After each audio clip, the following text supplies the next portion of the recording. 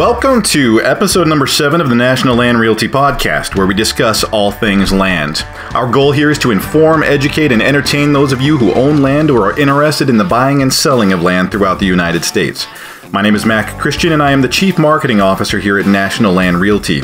And I will be your co host for this episode because joining me today is Bryce Berglund. Bryce works as the Content Marketing Specialist here at National Land Realty. Now, today our topic will be timber investments, where we will learn about how to buy or sell timber rich land the valuation of timber, and the maintenance of timber investments. Our guest today is Warren Peters out of Baton Rouge, Louisiana. Warren has over 50 years of experience in forestry. He started cruising timberland with his father when he was just 14 years old, and all these years later, Warren still loves working with trees. Warren earned a Bachelor of Science in Forestry from Louisiana State University in 1981. He is a licensed broker in both Louisiana and Mississippi, a registered forester, and holds the ACF designation as a member of the Association of Consulting Foresters, and is a state certified general real estate appraiser in Louisiana, Alabama, and Mississippi. This man carries immense knowledge about timber, so when he talks, it's best to listen. Now, sit back and enjoy the show.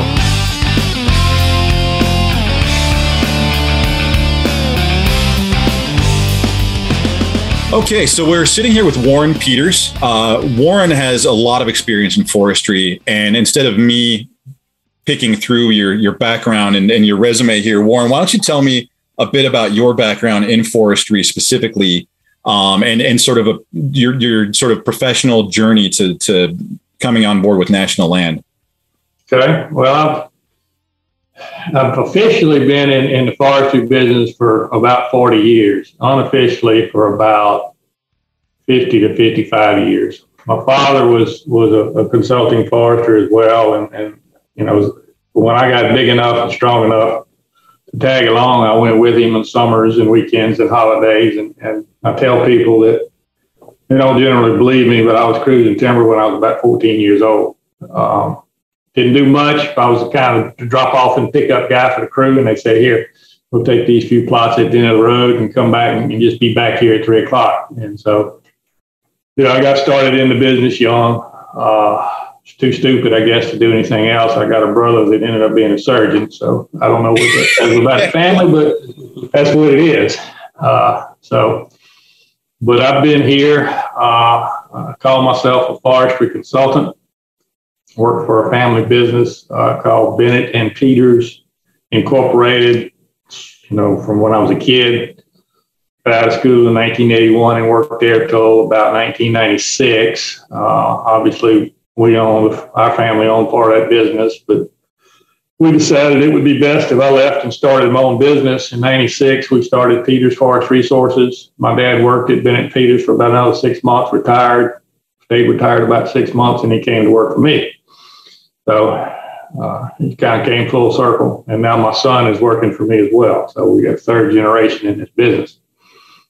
Oh, wow. Uh, you know, we've done a lot over the years in that business. Obviously, we manage a lot of privately owned, non industrial timberlands. Currently, we're managing about 70,000 acres. Uh, we're still operating that business as well as operating an office for National Land. Um, I've also done quite a bit of timberland appraisal work in my life. Um, you know, I've been a certified appraiser for almost 40 years. Stuff from small, you know, recreational tracks up to large industrial 200,000 acre plus tracks. So I've seen quite a few different aspects of, the forest industry, and, and, all of it's related, you know, to the real estate industry. So that's kind of us in a nutshell. I've, I've, I've got a lot of miles on my boots, a lot of a lot of pairs of boots actually. So, um, so was it a natural progression then? Like, so starting out in forestry and kind of going into family business, did you just kind of like fall into the real estate side of it then through National Land or? Well, you know, we, we, we, we had a broker's license for, for years and years, and, and we just didn't use it often. We used it once or twice a year to take care of a client that wanted to sell or wanted to buy something else, and it, it was just kind of sitting there on the shelf to use when we needed to. And and we got to looking around a few years back on ways to, you know, diversify the business and, and increase our revenue. And, and real estate, it was just a natural extension of what we were doing. It's, it wasn't much different than what we were doing. It's just an avenue we didn't utilize. And so we talked and, and we, we were doing it for ourselves. And, and then uh, uh, Mark Lewis, actually out of Mississippi, showed up in my office one day and convinced me to join National Land Realty uh, it took me a few months to figure out that that was the best model for us, and, and so we did. I, you know, the Mark Lewis stories seem to keep spreading. We had our national conference this year, and they asked for a show of hands on how many people came on board because of him and another and Ronnie Richardson. Ronnie Richardson, yeah. And but but Mark in particular, about half the crowd raised their hand. I think that he is probably the single best recruiter he, he seems to get in people's ears. He, he's good at that. He's good. You know, anything requires uh, a lot of words and a lot of convincing. Mark's pretty good at it. Yeah, he is. He's very. Mark could sell. Mark could sell. I think a bridge in in uh, Wyoming to somebody. I believe that. Um, so yeah, so so you came on board with National Land, and, and so you've worked primarily most of your career in in the Louisiana, Mississippi areas. Is that right? That's correct. Okay. You know, we, we, you know, we, we stray, you know, on the, on the forestry side, we'll stray into Texas and Arkansas occasionally. Occasionally we went into Alabama and further, but those were one-off jobs that, you know, we just, you know, good, quick, high-paying jobs, and we'd go do those, and we'll still go do them if they're high-paying. And that just mostly is valuation kind of stuff?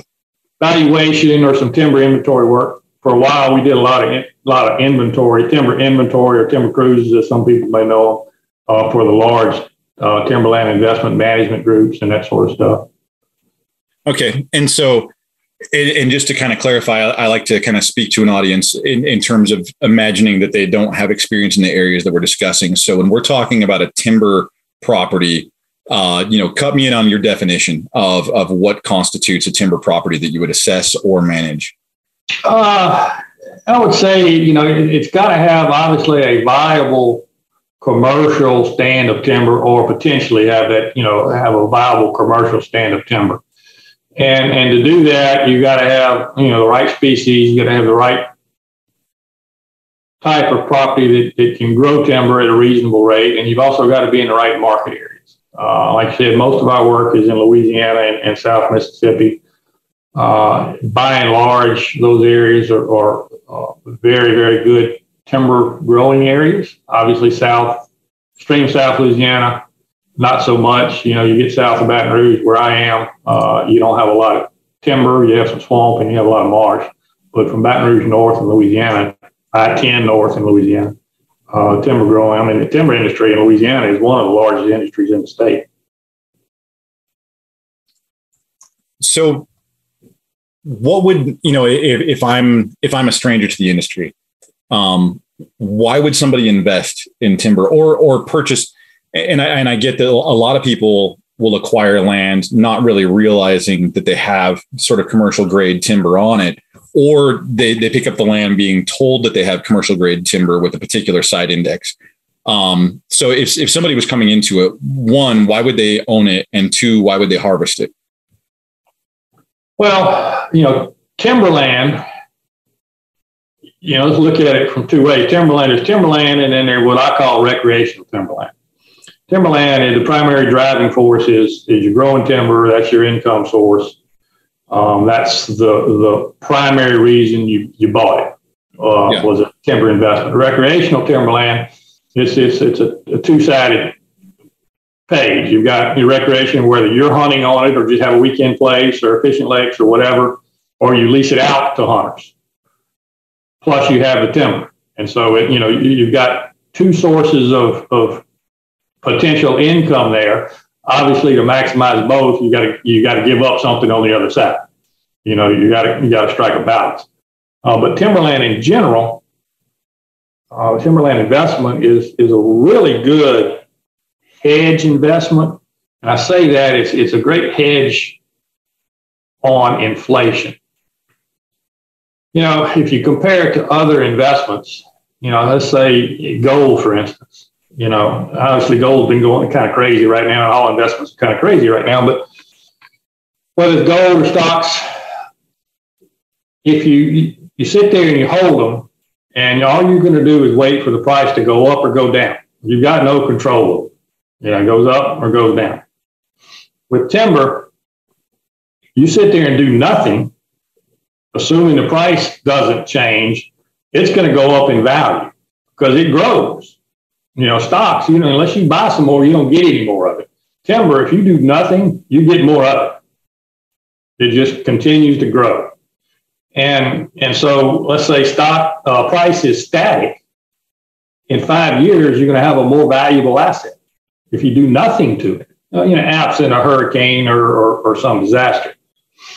In addition to the biological growth, as trees grow, they, they get bigger and move from one product to another product. And the next product, the bigger product, is more valuable in itself. So let's take a pine tree. If it goes from, say, 10 inches in diameter to 12 inches in diameter, it may go from $6 a ton to 12 or $14 a ton just by the mere fact that it got bigger. And the same thing, you know, if you go on up the diameter class bigger, let's say you go up to a 15 inch diameter tree, it's twice as much as the 12 inch, as, as the 12 inch diameter tree. So you've got biological growth and you've got product shift or ingrowth. Both of those two are going to happen no matter what you do. And so even in a declining market, you've got some hedge against that price loss. And then the third way, you know, you've got lately we haven't had it, but over time you'll get price appreciation. So there's there's three opportunities to, to gain value just in the timber itself. You've also got the opportunity for price appreciation in the land. So in timberland, you've got the opportunity for four different asset appreciation angles there. Compared to you know stock market or gold or something else that all you've got is one. All you've got is price appreciation. Sure. So i mean going off of what you had said earlier uh, it sounds like you know if you're looking at a timber property uh, if you can find something that has you know marketable timber on it that also has space for recreation, it's kind of a win-win. It is, um, particularly, and most of our, our, what I said earlier, recreational timberland tracts are bought by folks that are going to do the recreation themselves. They're either going to build a family camp out there, they're going to go hunting, uh, fishing, camping, whatever they want to do out there. And so, you know, there again, you compare that to uh, an investment in stock market or gold, it's kind of hard to go sit in a deer stand on a stock certificate. You know, they just, you know, they don't, it's hard to put a deer stand in the right place. And so, you know, and if you don't use it yourself, you've got lease income. Most timberland properties have have the ability to generate lease income. It may it may be a few dollars an acre, but around here, around Baton Rouge, between Baton Rouge north of us on up into southwest Mississippi, it's very common to, to generate $30 per acre per year off of a hunting. In some other parts of the state, you know, central where, where it's primarily pine, commercial pine plantations and stuff, lease rates may be five or six dollars an acre, but in, in some places they're very high. Is that due to the type of wood or is it due to the density? It, it's it, it, in these areas north of Baton Rouge on, on into Mississippi, it's, it's a more diverse habitat. Uh, the, the, the hunting is a lot better, uh, a lot more quality deer hunting, a lot higher deer populations, and, and therefore you're generating a lot higher uh, interest. I, I was going to say, and I need to I need to walk that back because I was asking you, like I was thinking more on the timber perspective than the leasing right. perspective. So, you, so yeah, I get that. Yeah, you know, and and and you know, the recreational properties regardless of the timber itself, are a lot higher prices. And they're closer to back, they're closer to town, they're closer to the urban centers, and they're closer to population. So you've got a lot, you know, it's just a lot easier if you're going to buy a place that's a recreational timberland tract. You want to be able to get there without driving a half a day. I got you. So, so when you go into a property, um, you know, this is kind of jumping right into it, but you know, how do you, and, and uh, you know, terms like site indexing are not going to be familiar to everybody. So, right. So let's walk through like how do you evaluate what is a timber stand worth? Like if you're walking in from the outside, I mean, a lot of people, a lot of people will buy land, and I've, I, I have talked to property owners. I live up in the northwest who will who will purchase and like I've got timber. I thought about selling it, and you you look at it, you know, there's like an acre of sparsely grown right. trees that are very short. That you know the, you got a good thirty years until you can harvest that. So so you know, one, how do you evaluate it? And two, like, and what we're talking about is site indexing, but like from from a layman's point of view, you know, if you could walk me through how you go about it and what what you're looking at. Well, we're looking at at, at the site index, and I real quickly, site index is is a way to measure productivity of a site, and and and the way you measure site index is is you you measure the height uh, of, of, of the dominant trees at either age 25 or 50 in the south. Sometimes it's 100 out in the northwest. But so, you know, how tall can a pine tree grow in 25 years? Or how tall can that red oak grow in, in 50 years? And obviously, the faster they, the higher they grow in that in that time period, the faster they're growing, the more productive productive the site is. And and so that's it, it's a real simple way to measure site product, productivity, and it's it's it's not measuring what's there today, but it's measuring the potential of what you can grow and how fast you can grow it. So it's future. You're essentially measuring the ability of the property to generate future returns. Sure. Um, how often would you how often would you perform a site index? You know, how, how often do you need to be keeping an eye on that? The site index is generally inherent on a property, or or I mean, it's going to vary across the property, but it's it's a it's a measure of the site productivity of the soil, so it's not going to change very often. So once you know the site index, you can change it some with some fertilization and some some intensive management, but in general, it's going to stay about the same unless you get real intensive with your management. And so you've got that, and then you can go in and do a timber inventory, or some people call it a timber cruise. You can actually go do a statistical sample, measure a certain percentage of the trees, whether it's 5%, 10%, and, and estimate the current volume of timber by species and by product on a particular piece of property. And so that'll give you the current market value of the timber. And then a professional forester can say, like, you know, you've got this, here's your potential here's the management techniques we need to do to reach that potential. Or maybe you've already reached the potential and we just want to manage it to make sure you stay at that potential. So you mentioned management of the timber. So so not only and again, kind of you know I'm going to throw these out there for you.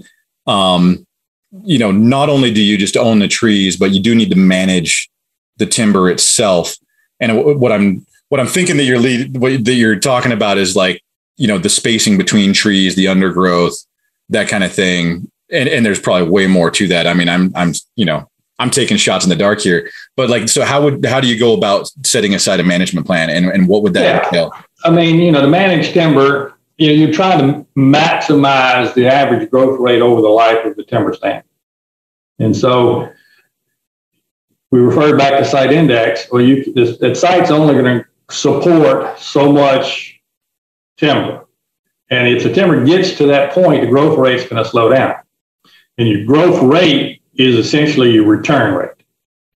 And so you want to, you know, the way to manage timber is with harvest.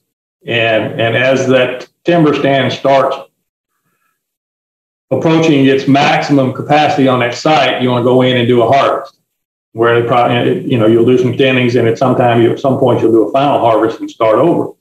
But you go in and before it's the growth rate slows way down, you thin it and take some of that volume off of that acre. And the residual timber now has the resources to grow at its maximum rate. And so keeping that rate of growth or your rate of return up is the key to maximizing your return on timber investment. So to establish how much you thin timber, are you using crown spacing or are you using distance between between trunks or what's what's your sort of basis to thin out a timber? It's, it's more related to crown spacing. Uh, crown spacing is harder to measure. We generally measure it by what we call basal area, which is is trunk area. If you cut all the trees off at four and a half feet above the ground, and measure the surface area of every stump. That's going to give you a certain square footage per acre.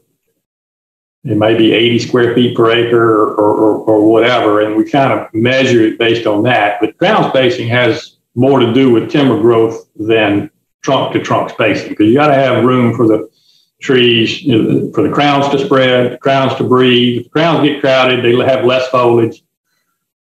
Uh, and, and growth, the growth rate slows down when the crown, when they lose their foliage. Right. Photosynthesis slows down because they have less leaves and the growth rate slows down.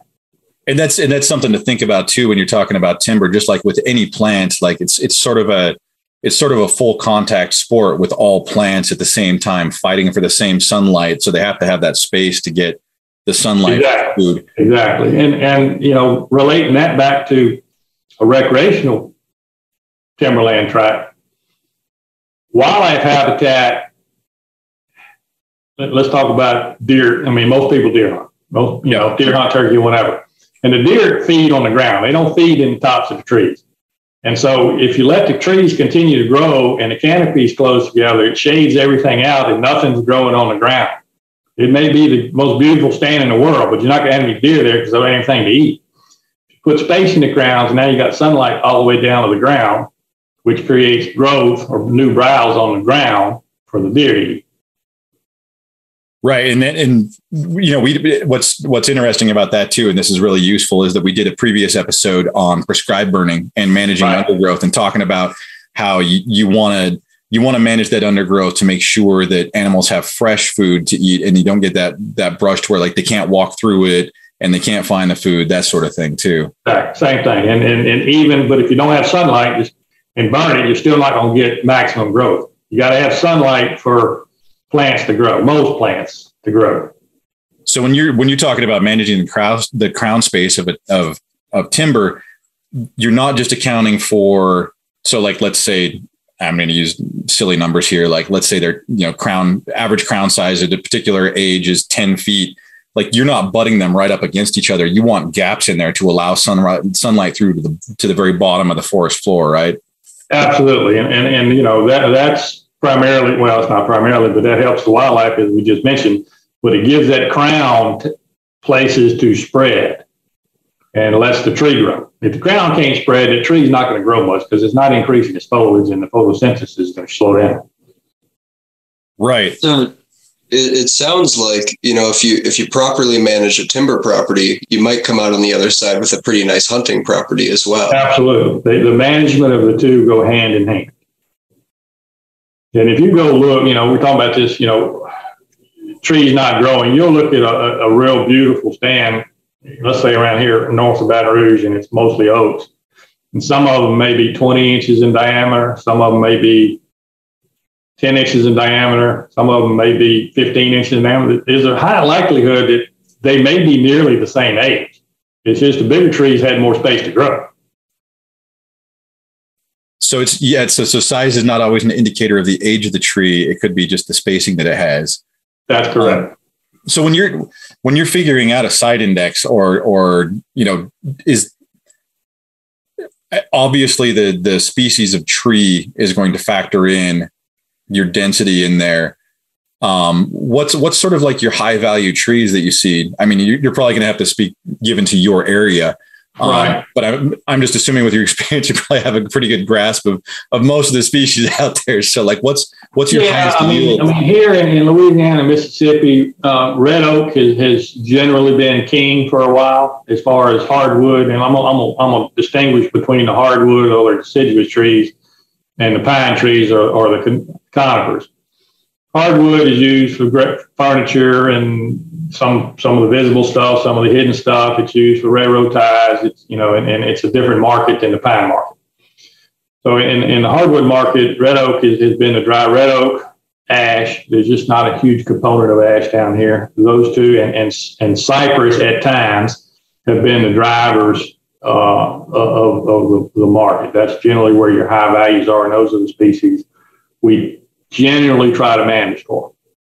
Oaks, on the other, also are a, real good wildlife habitat species. So that, that's great that you can do both managing for oaks.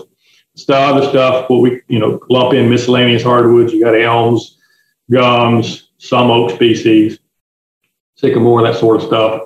You know, they're they're valuable, but not as valuable. They tend tend to use that stuff for industrial grade material or or hidden parts of furniture. Uh, on the other hand, you got pine trees or uh, conifers. Uh, that stuff's primarily used for construction material.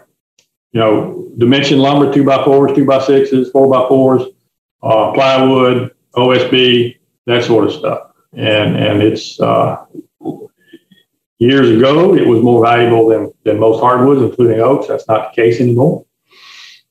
But you can still because pine trees grow a lot faster, and you can grow more on an acre. You can still generally grow more income growing pine trees than you can growing hardwood trees.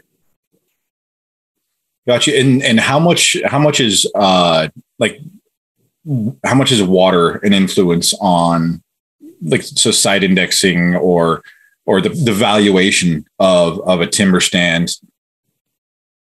You know, soil moisture is critical. You got to have soil moisture. Um, you know, and then and so, but you don't want too much. Wet sites are, are not good either moist sites or sites with water available generally all the time is what you want.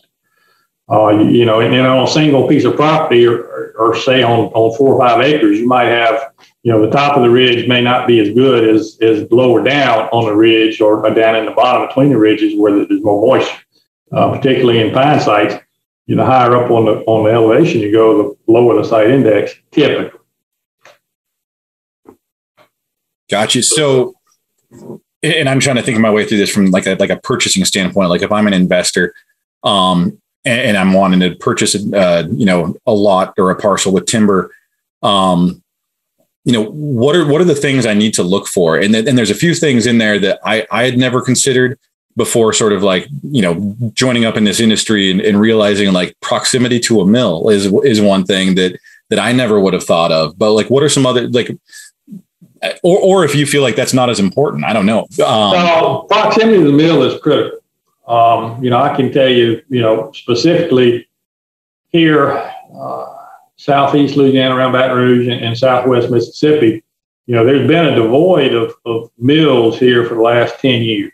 Uh, we've had several closures and some consolidations. And, you know, the difference of price between something that's 40 miles from the mill and something that's 100 miles from the mill, maybe 25%. That much? That much. It didn't used to be, I mean, because prices are depressed, so the, the, the difference is exaggerated in a percent. You know, let's, for instance, if I got something within 40 miles of the mill, say uh, nice mature pine saw logs, I could probably sell those, you know, money to the landowner at $28, maybe $30 a ton it's 100 miles from the mill, it's going to be 20 $22 a ton. And that's due to transport costs mostly, or okay, transport costs. What are some other things that can really impact the uh, the price that you're getting for your timber? Well, the, the volume that you're selling, oh, first of all, the quality of what you're selling, the species of what you sell, species price prices vary greatly, particularly in the hardwoods uh, quality, uh, how much grade lumber that they can cut out of the out of the timber is a huge has a huge impact on it. Uh, the size, like I said uh, when we first started, you know, small trees, eight, 10 inches in diameter are pulpwood trees. They go to the paper mill, get ground up for paper, six, eight dollars a ton. Smaller trees, 12 to 15 inches, typically go to what we call a small saw log or a chipping saw mill, and they cut mostly two by fours and four by fours out of that stuff. That might be worth 15 $16 a ton. It gets up in that 15 inch diameter class and, and larger, they cut and grade lumber out of it. You know, the two by sixes, two by eights, two by tens. Uh, you know, that's going to be worth, you know, in the mid 20s per ton, 25 $26 a ton. And you mentioned grade for timber. What are the grades and how do you grade those? it's everybody's uh, got a different grading system. Essentially, it, it, boils down to how many not how straight the trees are and how many knots are in the trees.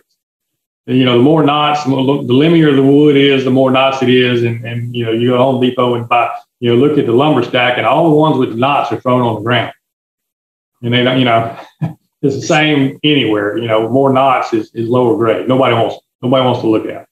So, the, so the next question that I was, I, I probably was leading that a little bit was, can you influence the grade of your lumber? Can you influence the grade of your timber, or is it just something where you're hoping on on luck there, or are there things that you? How, how do you manage that? There's some things you can do. Um, you know, some of it is in is genetically imprinted, and that's not going to get around the genetics. Uh, however, if, if you're doing final hard clear cuts and replanting, you can control your genetics because you can go buy certain genetically uh, you know, designed trees. So there's some influence there. You get the right genetics. Um, spacing, the further apart the trees grow, the, lim- the, the, the limbier they are, and the more knots they generally have because they don't sell, they don't help each other prune. You got a lot of space between trees. Obviously, you're going to have a bunch of sunlight, but that's too much sunlight because now all the limbs on the side of the tree won't self prune. If you think about it, a tree in your yard has got limbs almost all the way to the ground because there's nothing on the side of it shading those lower limbs. Take that same tree, and if it grows in the forest, it's not going to have limbs for the first 40 or 50 feet. That's about much better grade tree than the one in your yard. So the so the shadow created by other trees helps improve the grade of the tree because it doesn't need those lower limbs. It, it those lower limbs get shaded out, and they just you know they they they, they can't grow. They can't limbs don't grow in the sh- in the shade. The leaves don't work in the shade, so the tree just jettisons those limbs. It doesn't, doesn't need them anymore. That's that is also something I never would have thought of, but it makes total sense. Um, you want trees growing for the growing. You want that sunlight above them. You want them reaching for the sky, so they grow straight and tall. Now, granted, we talked about spacing trees out. You got to have some space between them so they grow and they maximize their potential. But don't you want too much space? Yeah. So if you overspace, you end up with lower limbs. Yeah. Right. Okay. That so it really is. It really is a kind of balance between you know, too close and too far. Correct so when when somebody is looking at the potential of of a timber investment, right? So they purchased land or whatever. Um, what's some what's some red flags? Like, what do you want to run away from? Like it's on fire. Like, what's what's the things to avoid? Well, if it's if it's 200 miles from the nearest mill, don't don't even go there because they're not coming to get, unless it's black walnut or something in Indiana. Because um, is that um, because of the rarity of the species, or yeah, right. Okay.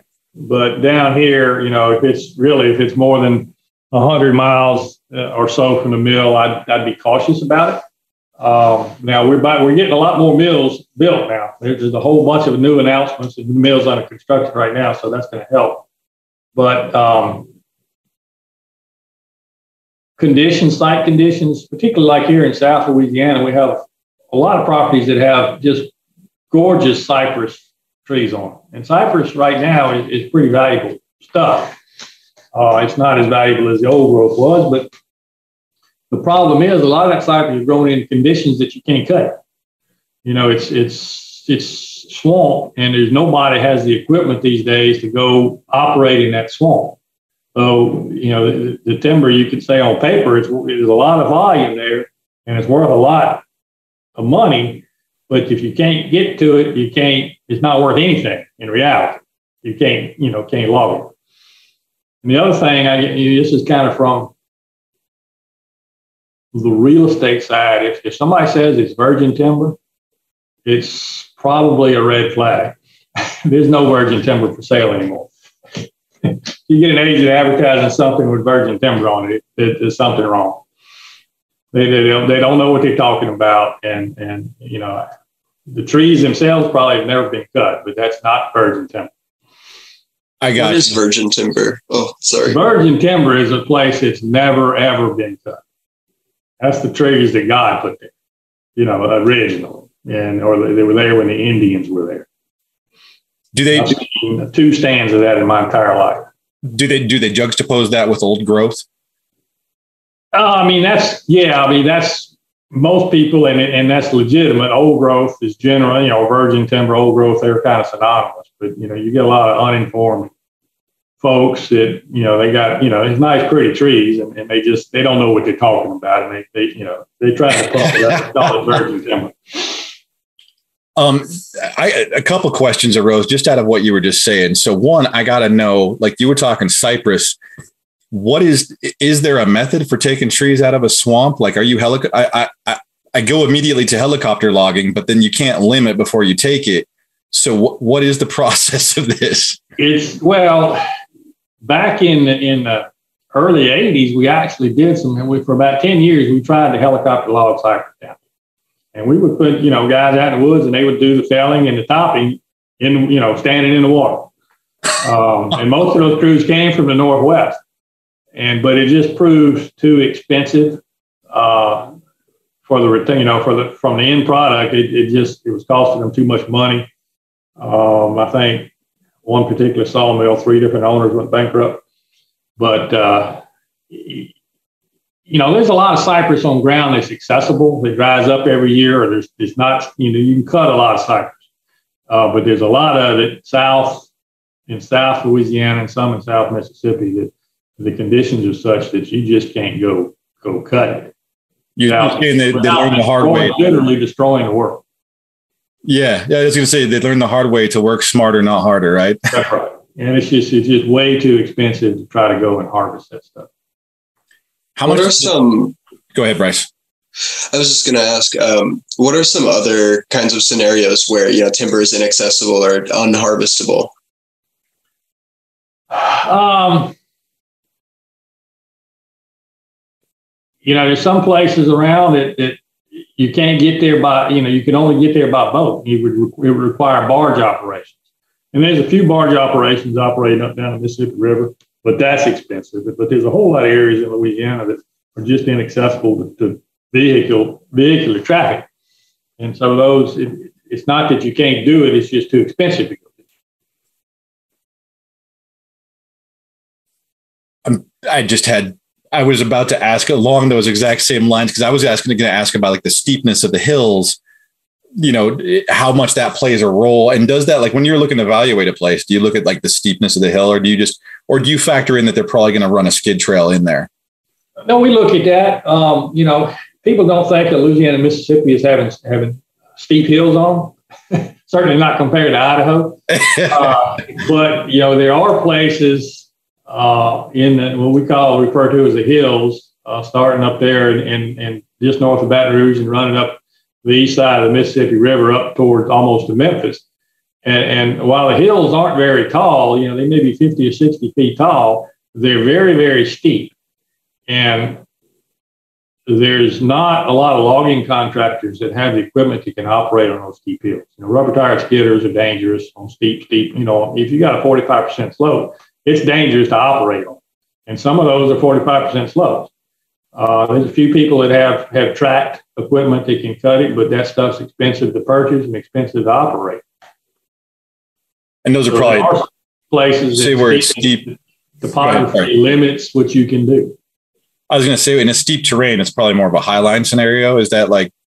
We don't run any high lines here because there's so much area that I mean, you can just avoid the steep slopes. I mean, there's so much timber down here. You just, no, it's a steep slope. We're not going to fool with. I was going to say, I mean, to me, the, this, you get into, you get into the, the country in Louisiana and stuff. To me, if I was walking somewhere like the poisonous snakes and alligators would pretty much mean it was inaccessible to me. Well, I tell people if you worry, if you worry about snakes, just don't look for them. Don't, don't look down. Uh, it terrifies me, man. Um, so when when somebody is is looking at at you know purchasing like a timber investment or or you know even coming in as a group do you do you see that more often like an individual or do you see groups? Uh i see more individuals.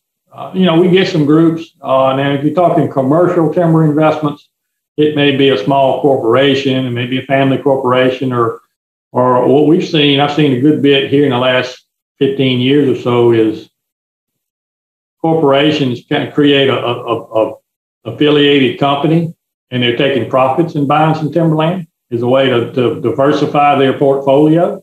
You know, we have a, a company here in Louisiana that over the last 20 years is probably well, they went from zero acres up to almost 100,000 acres, and they just they're funding that with profits from their primary business. So, somebody purchasing a, a timber property or, or you know, timber stand, how would somebody go in, find land with timber, and then find someone to harvest it? Because I think that's that's one of the that's one of the things coordinating that maybe somebody wouldn't think right. about is that you you get you get a place and you think, oh, cool, I'll harvest the timber. Well, there's there's other steps involved in the process. You got to find somebody to come in, cut that for you. You get a portion of the cost, sort of like it's the same thing with oil, right? Like you're giving right. rights to that resource, right. and you take well, a cut. You know that's our our other business, Peters Forest Resources. I mean, we manage timberland for mostly privately owned, you know, families or individuals or, or privately owned corporations that are not involved in the timber business per se. And, and you know, as professional foresters, we manage that process for them. We'll go in and, and give them recommendations on what they should be doing to maximize their returns. And if we need to, to compromise because of their wildlife concerns, we work that into the plan as well. We'll also uh, negotiate the sale with buyers. We don't buy it ourselves. We don't cut it ourselves. We work strictly for a landowner. And so, you know, we're their agent, we're their advisor and their agent. We'll take that timber sale from the advisory role all the way through, you know, sale preparation, contract, you know, we negotiate the price for them, uh, make sure, you know, we've got good contracts in place, and then we'll supervise the harvest farm. And if there's any reforestation needed on the back end, we'll supervise that as well.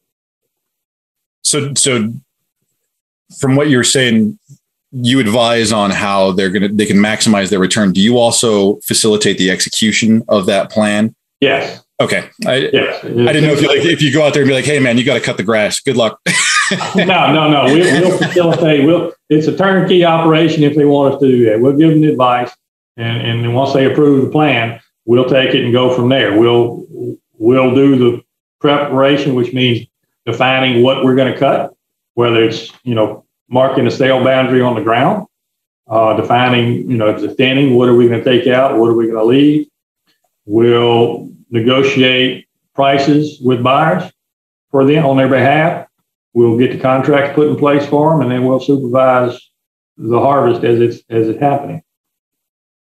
Sure. So as you're, you know, as you're going through this process, um, what are, are, what are a few like common deal breakers, I guess, um, that that you see on these properties, and are are are, are there any that uh, stick out in your mind as you know exemplary deal breakers, things that you remember? Yeah, like we talked about red flags. I wonder about the ones that are like, nah.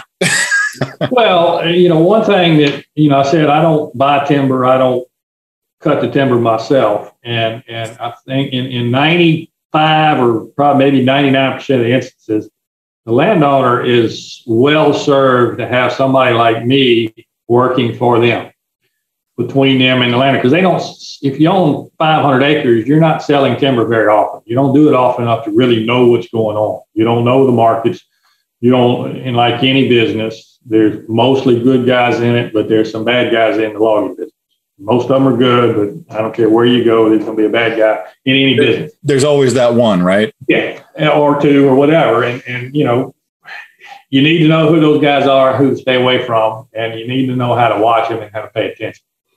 And so, you know, over the 40 years I've been doing this business, I can't, I can't count the number of times somebody called me and say, well, Billy down the road called me up and offered me $50,000 for my timber. And when it's all said and done, they hired me and they got seventy thousand dollars after they paid me.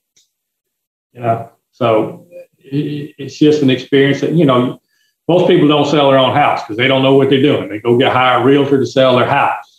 Same thing with land business. They hire us at National Land Realty to sell their land because we're going to generally get more for it than they could on their own. That makes a lot of sense. Um, things on the land to look for that would break a deal? Like, so if I'm looking at purchasing land, would it be, I mean, like I, I could imagine rights to timber probably plays a role. I don't yeah. know if you can set those rights. I mean, I, I, mean, you can set rights for anything, right? Um, so, so that is probably one. Is there, is there others like, um, you know, are you, are you looking at access for logging trucks to that site or Yeah, you need to have access to it, you know, whether it's public access or at least legal access. And the legal access has to be capable of handling logging equipment. You know, you start running logging trucks, you're talking 80, 90,000 pound trucks. You got to be able to get them in and out. You know, if you got a bridge that you're scared to drive across in your pickup truck, you know, I'm not saying don't buy it, but understand you're going to spend a hundred grand building a bridge before you start cutting timber. Or soft shoulders or something like that too. That's right. right. And and you know, internal good internal roads are a plus, a huge plus. You go to sell timber. If I've already got good gravel roads that'll hold up, I'm going to get more from my timber because the logging company doesn't have to fight that road. They don't have to spend a bunch of time and effort maintaining that road you know, we managed a property for, for years and years and years that had a superior network of internal roads. It's been a fortune on gravel roads. But over about 20 years, we generated about 15% higher returns on that piece of property than we did on a piece of property that would be similar with poor roads. Just because you thought out the access. Well, they, they, and they maintain the access. Right. Landowners maintain. They kept the roads gravel. They kept them clean. They kept them graded the logger, the, the logger got there and he could go to work. He didn't have to build a road. Road's already there. He didn't have to spend money building a road. I got you. You mentioned before, you said that somebody with 500 acres is not going to know the markets as well because they won't be harvesting as often. Correct. What is, what is sort of the, the, the sweet spot? Like if, if I'm going to call something a timber investment, what's my minimum, my minimum acreage that I'm looking at? Well, I mean, you can do you can call 100 acres of timber investment. You just got to understand understand what it is that you're not going to generate income, but periodic. If you want to generate income regularly on an annual basis, you're probably going to you know you're going to need you know a couple two or three thousand acres or more. Um, and, even, and so that you can rotate your cuts, right? That's right. Even two okay. or three thousand acres is likely not going to generate harvest income every year. You know, it may you may need ten thousand acres to generate harvest a significant harvest income every year. Gotcha. And that's something to think about too. Like when when somebody's looking at timber and like let's say they buy something with, you know, all the trees on the on the because I, I see things marketed as a timber investment and you'll see all of the trees and they're maybe 15 feet tall. And yeah, well, it's it is a long, it is a it, it could be a timber investment, but it's a long term investment. You know, and, you my dad used to use the word patient capital, and that's what it takes patient capital to buy a timberland investment. You got to be patient. If you buy 100 acres, you know, it's going to take you 30 years to, to fully realize your return on it. And, and I've heard of scenarios too where um, landowners are, are advised not to harvest but to sell the land based on potential harvest value to somebody who's more sort of experienced with timber harvest and preserve the timber and sell that. What are the situations for that? Like like when should you when should you look to harvest before you sell? Because there's there's two points of income that you can gain from that. You can gain the income from the timber and then the income of the land sale or some people like i said some people are advised to preserve the value of the timber and run the land sale with with the expected price of the timber on it what's how, how does that balance? Yeah, I think that depends on, on the nature of the investment. If it's a pure timberland investment and, you know, the recreational values are fairly low, you know, if it's pine plantation, you're managing it intensely, you know, like uh, a Weyerhaeuser might do. If, you, if you've got something like that and you're managing it very intensely and your buyer is probably going to be somebody like you, it probably doesn't matter. If, if the timber should be cut uh, for finance, you know, for because it's financially optimal to cut it, or silviculturally, which means you need, you need to do some cutting because it's time based on the timber growth, I'd go ahead and cut it and manage it and do any reforestation necessary. And then you could put that in, back out in the market. And your, your market is pure timberland investors. They're going to understand what you did, why you did it, and now they're taking it to the next rotation. They're going to take it for the next 30 years. If it's a recreational timberland tract, however, the value of those trees may be more standing on the ground. We may get more for the trees selling them with the land because it's it's kind of a mental deal. If the buyers, oh, this is a beautiful place. If I go and cut the timber, it's going to be ugly. Not only do you going to lose the value of the timber, but now you're dealing with somebody that's trying to see 10 years down the road and try to envision what that's going to look like rather than going into it with a nice, pretty stand of trees and, oh, that's great. That's beautiful. I'll, I'll, I'll buy it now. You know, it's, it's just, it's a, dollars and cents. You know, you can argue that it doesn't matter if you sell the timber separate from the land, but from a marketing standpoint, I see, and I, I recommend if it's a recreational timberland tract, quite often I say, don't sell the timber. Let me use that as a marketing tool because because of what it looks like and the the experience that the land provides by That's having right. that timber. Okay, that makes a lot of sense. Let, let me tell the next guy, you can cut some of this timber and get some of your money back. And he's probably going to pay you a little more than he would if you cut than you would get if you cut the timber and then sold him the bare land. Right, right. That makes a so that's that's exactly yeah. That makes a lot of sense that you know, advising somebody like, man, don't get a wild hair and clear cut your whole property. Like you're not going to be able to sell it for nearly as much. That's right. Yeah. I mean, so a pretty property is easier to sell than ugly. I mean, that's just a fact. and, and logging is, it's terribly destructive. I mean, there's no way around it. It's ugly, it's messy, and it just, it, it just looks bad. So from from everything you've told us today, Warren, it sounds like you know timber investment can be a very flexible investment. You know, if you're looking for um, uh, more of a short term, like you know, buy it and then sell the merchantable timber with the land, you can do that. Or if you're looking to hold it, you know, for decades and harvest later, you could do that as well. It could be a hunting tract. It sounds like you know timber is a very it's a very flexible investment. Absolutely you know, you can accomplish lots of different investment goals with it, whether it's pure pure financial investment or it's it's that along with a place that you you know and you can't put money on recreation. You, you know, family time, kids fishing in the lake, killing their first deer. I you know that's worth a lot of money. Worth more to some people than others, but it's you know. well, and that, that seems to be one of the. I was going to say that seems to be one of the keys with with anything that has to do with land. So we've had a lot of conversations about mineral rights and or even you know just had a had a uh, interview we did a couple weeks ago about you know commercial poultry farming. And right. what it comes down to is when you're working with land, any type of land, whether it's timber or anything else, like it's really up to you. It's it's really but one of the one of the primary pieces is got to make sure you have the right advice and the right consultancy along the way. Otherwise, you can really mess it up. Yep. Um, hey, you know, we're closing in on the hour here. Uh, Warren, I, I want to give you a chance. Someone's in in you know Mississippi area, Louisiana area, and and they need to. Uh, they they got a lot of trees. Who do they contact? How do they get well, a hold of me? Of course. All right. you know, me at, at, National Land Realty or me at Peters Forest Resources, either one. And, and, you know, and I can't service everybody. So there, there's a lot of, there's a lot of knowledgeable uh, foresters out there. Quite a few of them work for National Land Realty. Not all of them work for National Land Realty, but there's a lot of advice out there. And, and certainly anybody particularly uh, new into the timberland investment, uh, whether it's pure timber investment or recreational timberland, get some advice. Uh, it, will be you'll be well served with some professional advice.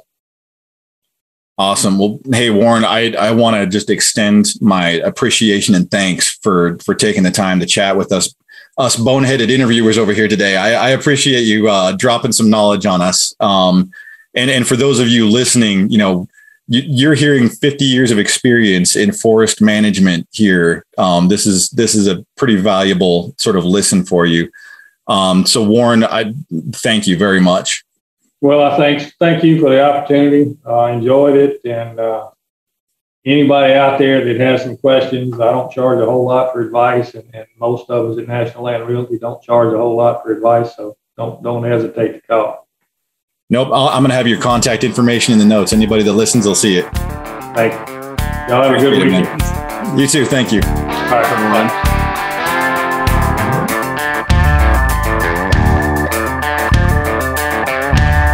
This concludes episode number seven of the National Land Realty podcast, discussing timber investments with National Land Realty land professional Warren Peters out of Baton Rouge, Louisiana. Now, let's just be honest here. If you listen to this whole podcast, you were privy to about 50 years of accumulated knowledge regarding timber. I I, can't emphasize how amazing it is to talk with land professionals about their areas of expertise.